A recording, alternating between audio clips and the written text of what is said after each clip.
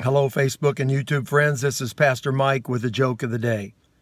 This guy had been going through therapy for about two years. It was pretty intense. During that two years, he had gone through episodes when he believed with all of his heart that he was Napoleon Bonaparte.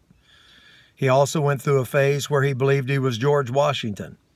He went through another phase where he believed that he was Donald Trump. He was a Christian and even believed that he was John Wesley all those multiple personalities. And the therapist worked with him, the psychiatrist worked and and uh, took him through all kinds of, of therapy to try to cure him.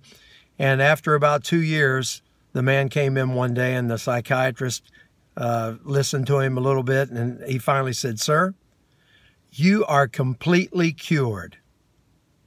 Well, the man just had kind of a stunned look on his face, but he wasn't excited. He wasn't celebrating. The therapist said, you should be happy about that. Why aren't you celebrating? I just told you you're completely cured. He said, Well, I don't feel that great about it. I used to be Napoleon Bonaparte, George Washington, John Wesley, and Donald Trump. Now I'm nobody. there you go. That's a joke of the day for today. I hope that brings a smile to your face. You can share that with others if you want to or have them check out my YouTube channel for all the jokes Monday through Friday for the last 10 months.